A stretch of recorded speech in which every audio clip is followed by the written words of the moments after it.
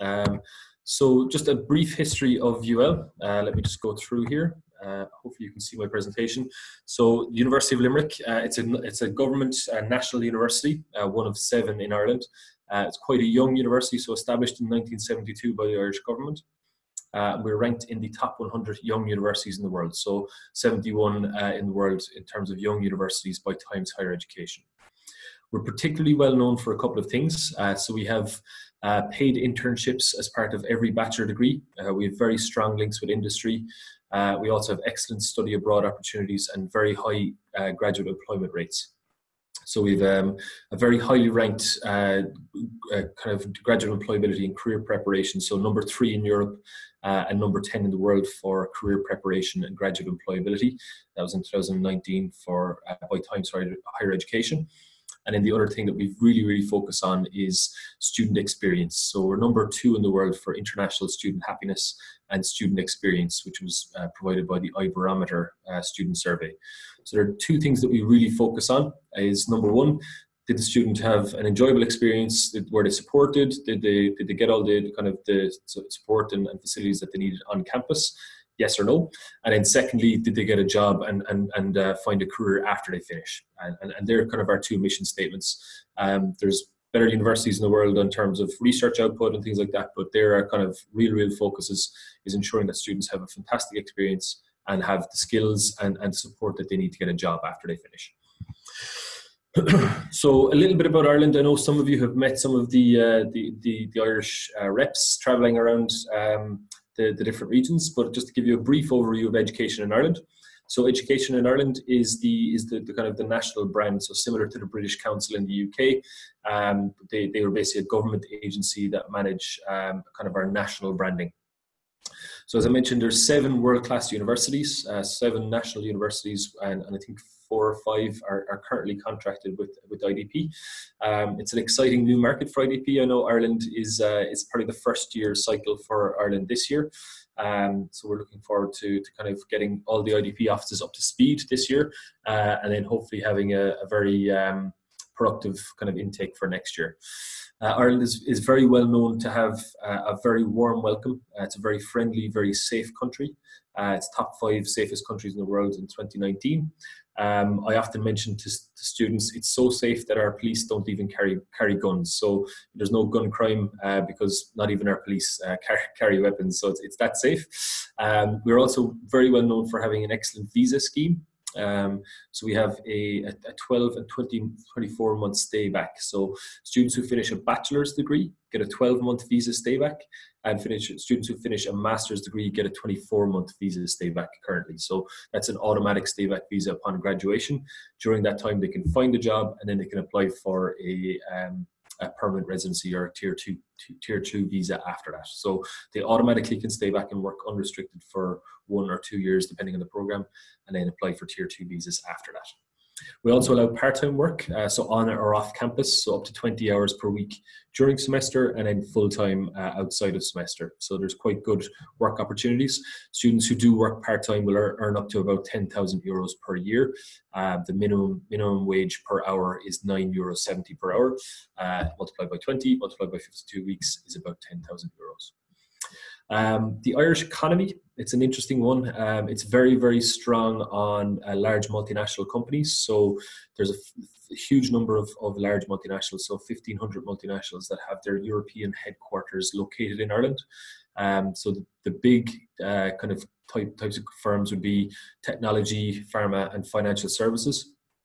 So the top kind of 10 to 15, you know, globally recognized recognized brands would have their European headquarters in Ireland in each of those sectors. So in terms of technology, Google, Facebook, Apple, Dell, Microsoft uh, would all have their European headquarters in Ireland. Uh, pharma is the same, and financial services would be the same. There's a couple of reasons for that.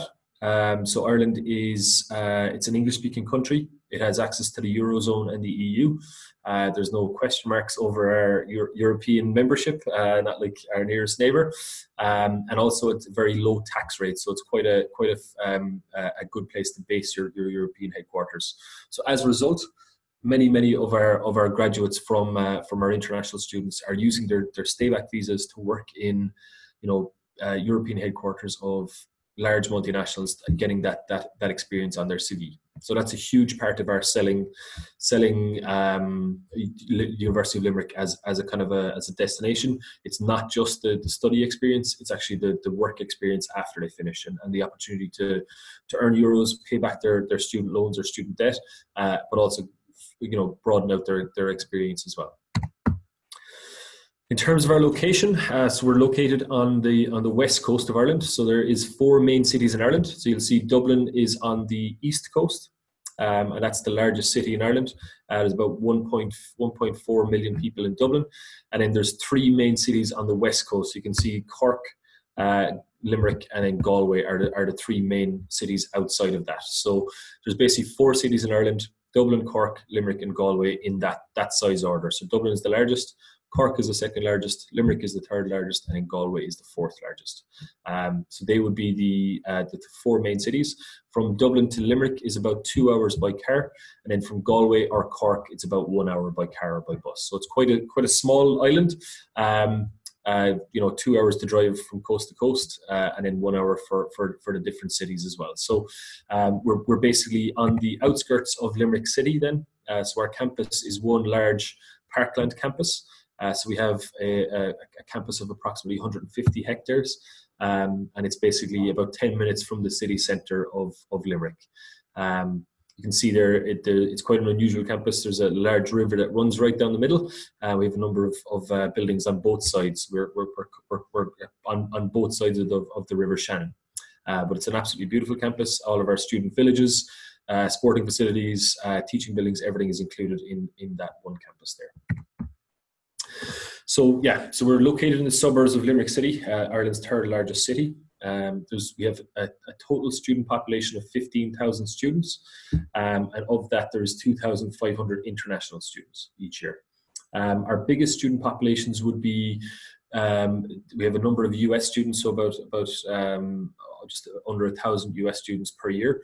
Uh, our next largest group would be Canadian students, and then followed by Indian students, so about 300 Indian students per year, um, and then a, a, almost 200 Chinese students.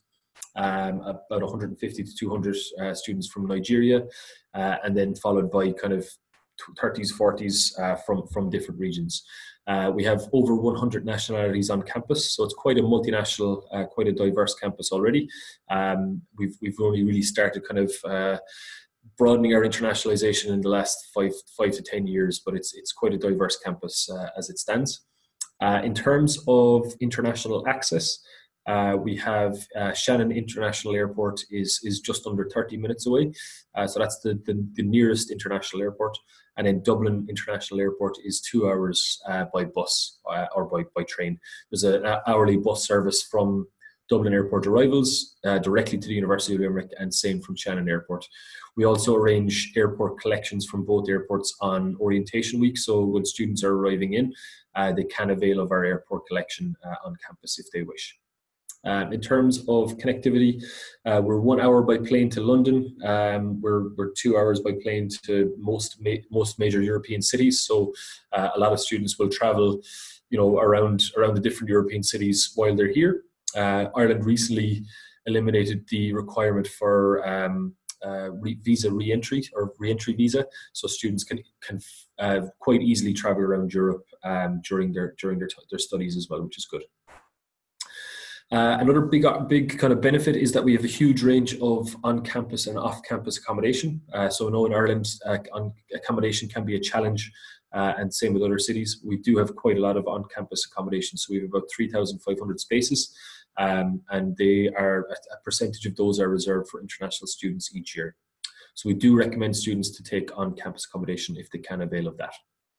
Uh, we're also known as Ireland Sporting Campus. We have professional rugby, professional soccer, and then uh, elite Olympic swim and athletics teams that train on campus. So we have fantastic facilities that are that are made available free of charge to students as well. So Olympic uh, Olympic swimming pool, Olympic diving pool, indoor and outdoor athletics facilities, uh, three gyms, uh, and a number of, of artificial and and grass pitches that are that are free of charge for students. So we're a multidisciplinary institution. Um, so we, we cross over overall areas. Uh, so we have four faculties. Uh, so Faculty of Science and Engineering, which is probably our largest and our, our, our most highly ranked. Uh, and then our business school, um, which is, is uh, quite a large, probably second largest faculty. We also then have a faculty of education and health science, uh, and a faculty of arts, humanities, and social sciences. And within the education health science, we do have a medical school, uh, but it is specifically for graduate entry. So it uses the, the graduate entry model similar to the US, where a student would have a, a four year bachelor's degree first, and then would use that for entry onto the medicine program. So they can't come directly from high school into medicine. Uh, also, we do have a School of Nursing, um, and interesting for that uh, is the one-year top-up programs for BSc and MSc in nursing, which are available for international students. So the BSc is designed for students who have a diploma in nursing that want a bachelor's, um, and they can then register as as nurses in Ireland or the UK or USA. Uh, and then the master's is a one-year master's in nursing, uh, which is available for international students as well. In the Arts, Humanities and Social Science faculty, we have a World Academy of Music and Dance, uh, so Performing Arts School, which is an unusual one for Ireland. Uh, and we also have a School of Law, uh, which was recently just accredited by the Indian Bar Council. Uh, it's also accredited by the New York Bar and California Bar Council as well. So you can practice uh, internationally with, with the UL, LLB, or LLM program in terms of some of the distinctive programs, and I will obviously send out uh, a, a, comprehensive list of courses that we offer, uh, the duration and the uh, the fees and things like that. But just a kind of a, a, summary of some of the programs that we we have. Um, we have in our in our bachelor's programs, we have what are called common entry programs. So in engineering, in computer science, and in business studies, uh, students will apply into the School of Engineering, School of Computer Science, or School of Business. Will basically do a common entry first year so they basically will do um, modules that are related just to, their, to that field, so engineering. They'll do electives in multiple fields in terms of um, majors within that area, and then can specialize or stream into their major at the end of year one. So it's same in computer science and same in business.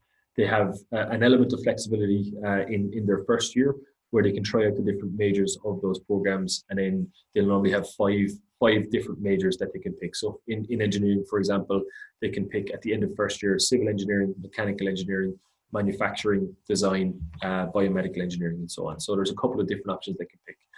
We're also very well known for aviation.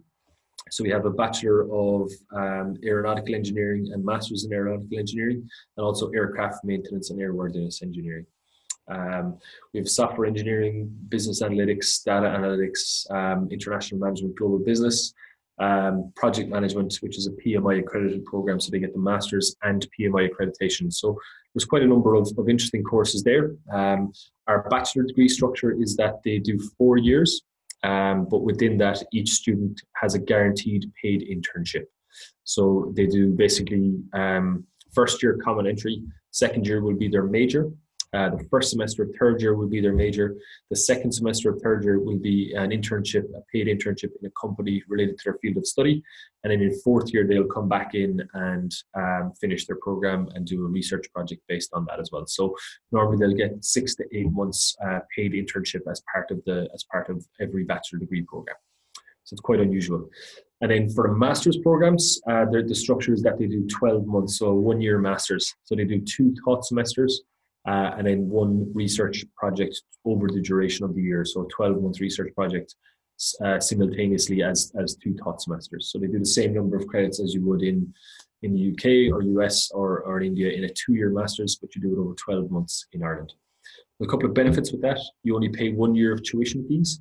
Uh, and you also save a year in time as well, which is which is quite useful and obviously they get the two-year visa stay back to uh, to work in Ireland after they finish as well, which is quite popular.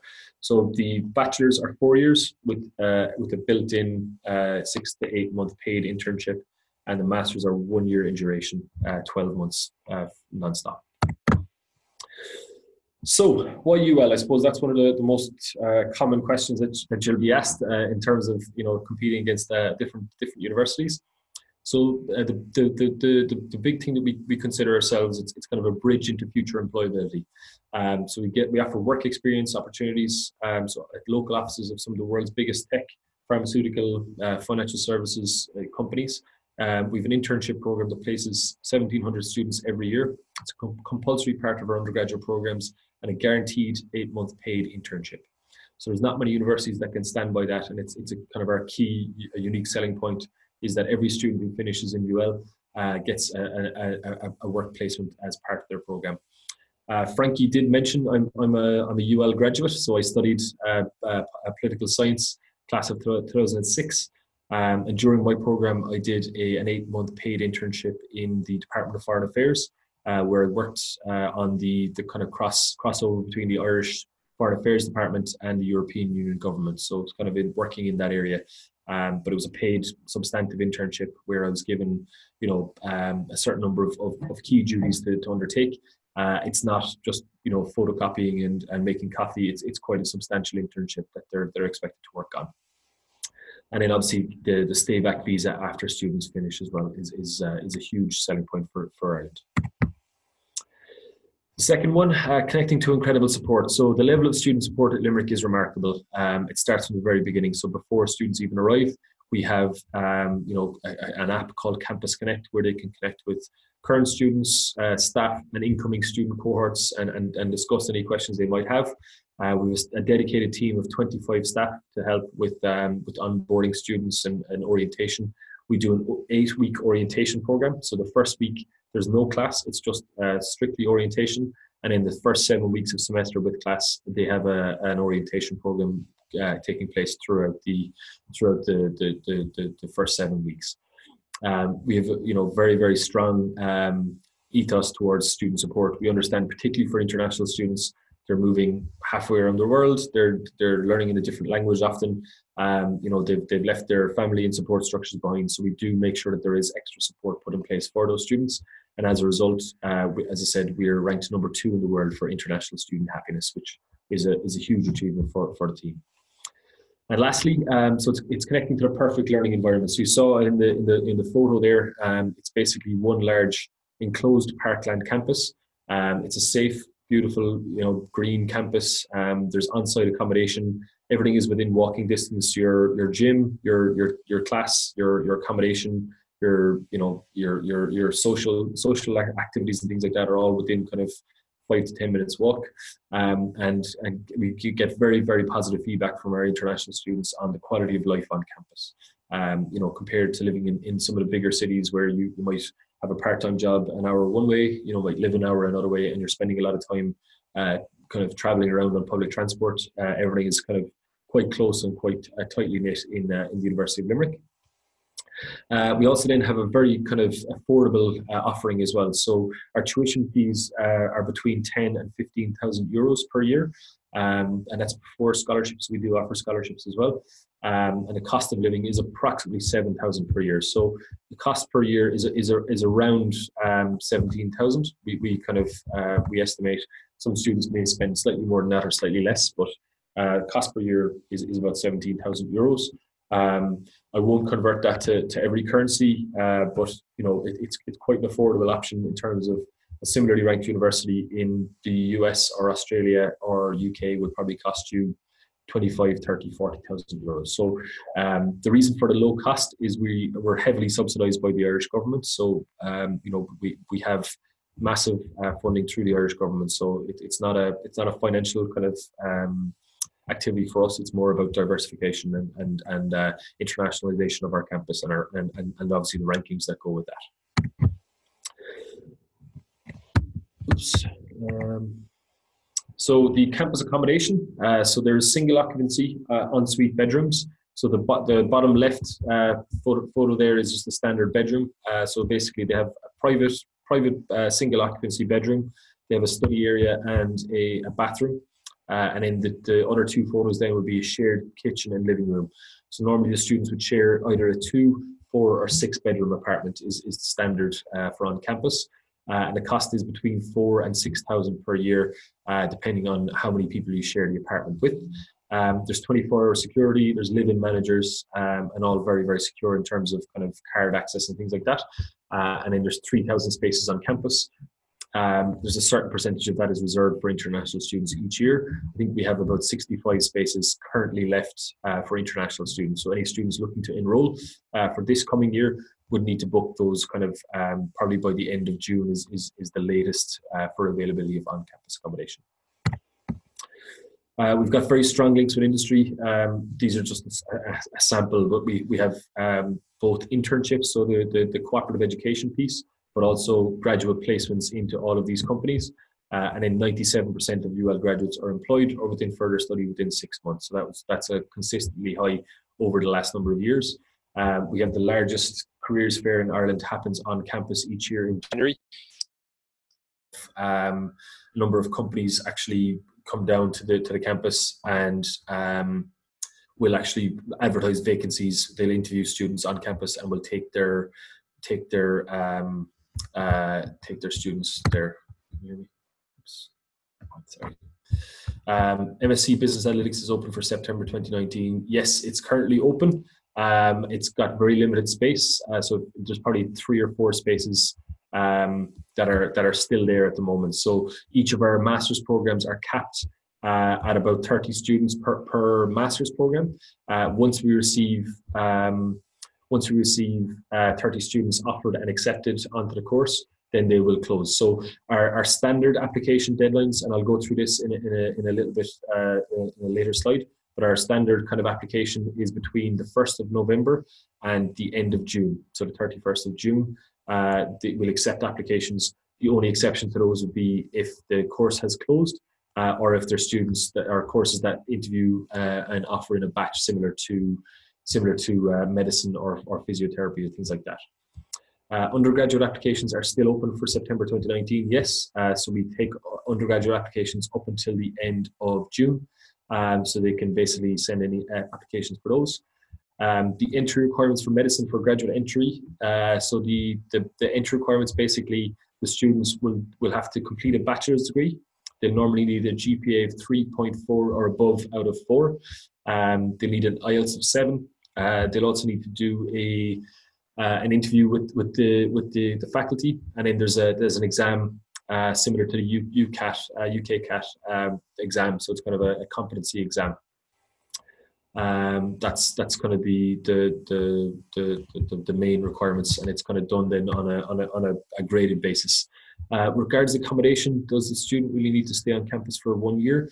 Um, this we, we recommend for first year uh, the, the, the student live on campus. Um, it's not compulsory if they can if they can book off campus accommodation or if they want to live with. Uh, we have um, uh, family kind of family uh, accommodation as well. They can they can live with a host family, uh, so they can they can they can book in there as well. So they, it's not compulsory to live on campus for the year, uh, but we do strongly strongly recommend it uh, for for particularly for first year undergraduate students.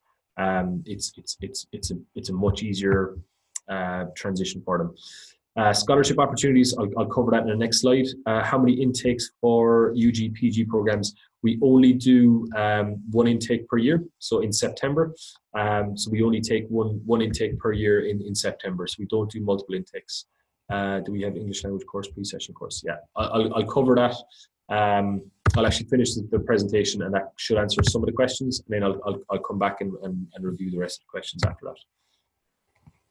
So entry requirements for UG, uh, I, I kind of covered the, the markets that I saw. So I, I saw in terms of a pre um, a pre-booking onto the session, uh, I saw a number of different uh, markets. So for undergraduate for India, uh, standard 12 exams, and we look for an average minimum grade of 70%. Uh, for Taiwan, uh, successful completion of senior high 2 at an average of 75 or senior high 3 at an average of 70, plus a foundation program. Uh, for China, an average grade of 75 uh, from the last three years of Chinese high school. Bangladesh, 60% plus foundation. Uh, Singapore, uh, A levels, so at least three A levels, and we look normally for a B average. There is a, a higher, um, there's a competitive tier as well, which would be AAB, uh, but I'll, I'll, show you those those programs. Um, and then South Korea is mentioned there, um, and a foundation 80% and plus foundation or first year bachelor and then Philippines average grade of 75 plus a foundation program. We do have a foundation program on campus, uh, and then we also have a number of um, foundation uh, approved foundation providers in different markets as well. So in uh, in the Philippines, in um, in Malaysia, and in Indonesia, and so on. Um, let me just see if there's any uh, the deadline for P, for PG is the end of June. So the, the last application for any visa requiring countries is the 31st of June. However, courses can close earlier than that. So if you have 30 spaces and there's 30 students offered and accepted, um, they will they basically will will close the course at that stage. So the, the, application link will be will be will be voided out. Uh, how many international places for medicine? We normally have two spaces for um, for medicine students coming through um, from non-US and Canadian students. So two two international spaces per year any interview sessions for nursing courses? No, there isn't. Um, they they will they may do Skype interviews if they have questions over the student over the student's um, experience, but normally they need to have a nursing qualification uh, and a registration pin. Uh, there's no work experience required. They basically just, they go off the qualification um, on that. Uh, can we get this presentation? Absolutely, I will send this out to you uh, Singapore Poly Diploma and IB requirements, please. I'll send them to you separately. Hong Kong, and we do accept IB. So normally uh, our minimum score is 28, uh, but we do have some programs that are 32 or 36, depending on on the on the requirements.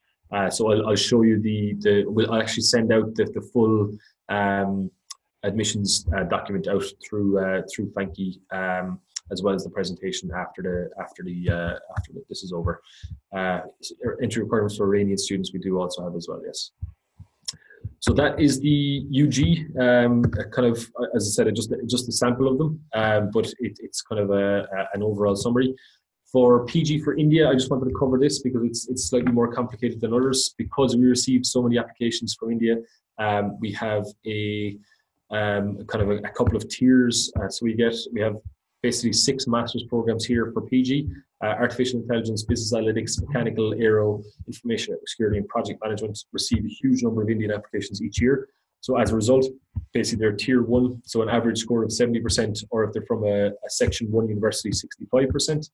Uh, these are the, the, the tier two uh, uh, programs, and it's 65 from a standard, uh, 60 from a, a section one university, and then any other program that's not mentioned in these two tiers is an average score of 60 or 55 for um, for uh, Section 1 universities.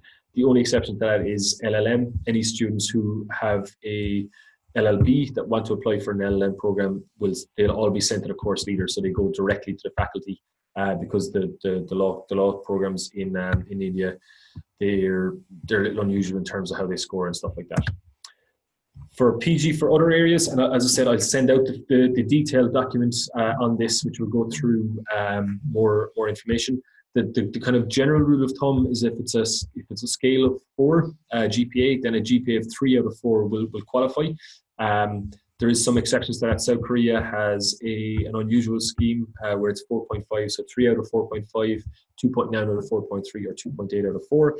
And in the Philippines, um, sometimes they, some of the universities uh, do a reverse order number. Uh, so a score of two or lower, so anything lower than two uh, out of five is accepted. For China, an average grade of 70% from two, 201 universities and 75 from non 201 universities, and Taiwan, average grade of 70% or above.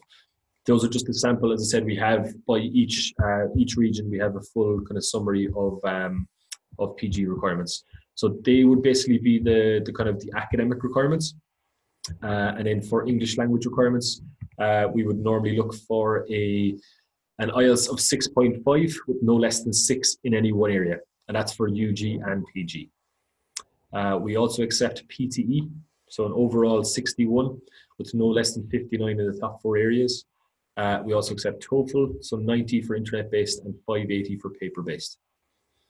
Uh, we do have an in-sessional, or sorry, pre-sessional English language course. So I think someone asked that question. So we do, um, we do basically based on the students' incoming IELTS scores, uh, they can do a pre-sessional language program taught by our faculty of language, um, and that's actually accredited by the university. They don't need to retest in IELTS, um, and I'll send that document out through uh, through Frankie as well. Um, basically, the the, the the the general rule is that if a student has an IELTS of six, they do a four week program. If they have an IELTS of 5.5, they do an eight week program. If they have an IELTS of five, they do a full semester. If they have an IELTS of 4.5, they do a full academic year and then transfer onto the onto the program after that. So they, they basically finish the course the, the end of August and then start the, the master's or the bachelor's program in the, the 1st of September. Um, so that's the that's the English language requirements. It's the same for both uh, UG and PG. For scholarships, uh, so we offer a, a UG scholarship. So across uh, across all all programs, we offer a six thousand euro scholarship. So it's basically one thousand five hundred euros across the four years. Um, and it's it's normally done. This is just for the India one, but it's it's broken out by market. Uh, for India, it's seventy five percent or above, but it's basically five percent over the entry requirement from um, from the from the markets you're coming into. So if it's from China and the average score is is 75% uh, needed for from from the high school, then it will be 80% for scholarship. So it's kind of 5% above the entry tier. Um, and then for postgrad, we have um, science and engineering scholarships, which are 2,000 euro and 4,000 euro, uh, 5% above the entry tier or 10% above the entry tier. Again, 25% for business at 1500 and then AHSS is 1500 and 2000. Basically, if you take the entry tier that, they, that they're on, add 5% to that, uh, they'll, they'll get the, the, the, lower scholarship and add 10% to that, they'll get the higher scholarship. And it's done specifically after academic grades. It's offered to all students. There's, there's no limit in terms of the number of scholarships that are offered. So if we have 100 applications and they're all 10% above the entry tier, they'll all get the, the top scholarship on that program hopefully that's clear. Does that does that make sense? Any questions on the on the scholarship stuff? That can be a little bit confusing. Um, entry requirement for M MBBS. Uh, that M, MBBS is medicine. Is that right? I think I've gone through that one already. Uh, just let me know um, Nadika, if it's if it's a separate program other than medicine, I've, gone through that separately. Uh, do we require a separate application form or essay for the scholarship? No. Uh, so it's done. It's done on. Um, it's done at the time of application. So when a student applies to the program, uh, they're assessed for entry and for scholarship at the same time. Uh, so they, they they're they're assessed basically uh, on their on their their transcripts is is the key decision for us for scholarship. Uh, for medicine. So medicine, as I said, you um, you have to have a bachelor's degree, so it's you have to be it's a graduate entry program specifically. They need a GPA of at least three point four out of four.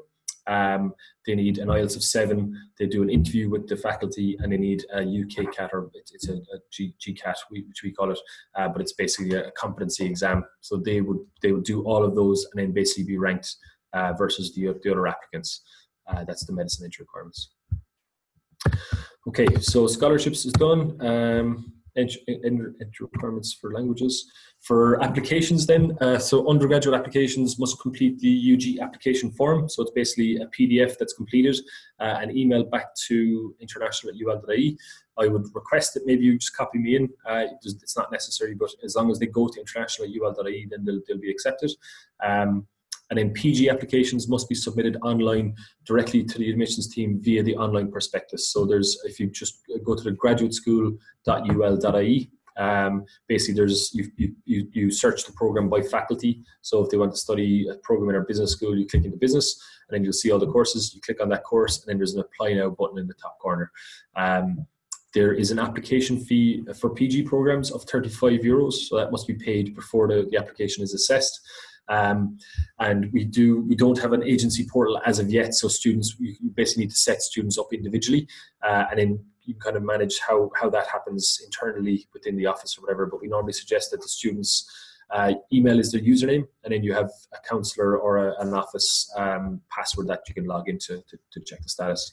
Decisions will normally be made between three uh, within three to four weeks. So we do a rolling admission between November and June. So we'll do admissions basically every day uh, from November to June, um, and then basically the, the applications when received will be assessed by the admissions team uh, if there's any documents missing or any kind of uh, clarifications needed, they, they, they, that would come back from the admissions team. The final decision then basically we provide a recommendation to the course directors, so the, the, the faculty members um, on the course, uh, and they'll make the final final admissions decision. They, they may call for interview, so most of our business programs will call for, for Skype interview. Um, our computer science programs, uh, data science programs will normally call for, for a Skype interview. Uh, other programs won't, so it, it, does depend on the on the on the, the course director. Um, so they'll be called for an interview, and then a decision will, will be made after that point. Uh, the only exception would be things like portfolios. So for some of the architecture programs, um, uh, creative media programs and things like that, or performing arts, they'll need an audition uh, tape or, or, or, thing to, to, be assessed as well. Um, but yeah, normally within within kind of reason and application, if if received correctly, will you'll get an offer back within three to four weeks if uh, if, if if all is is uh, is good. And the main the main criteria for us, as I said, is the is the the um, academic uh, percentages or, or, or, grades that they, they've they've reached. Um, we do, in some cases, we do give exceptions to students with exceptional work experience. So, you know, five years kind of um, relevant work experience or more can be taken in lieu of of a, a GPA that's that's you know uh, kind of above the entry requirements that we, that we would have uh, outlined there. So, um, they still need a, a, relevant bachelor's degree in a cognizant area, um, but they can get away with a lower a lower GPA if they have you know five years plus relevant work experience. Uh, application fee for UG, there is none. Um, there's no there's no um, application fee for undergraduate at the moment. Uh, the pathway programs. So yes, we have a, a foundation program um, on campus. So that's provided by the university. Uh, I'll send out the, the information on that. But basically, it's a one year uh, foundation program. So it intakes in September. It's taught on campus in, in the university.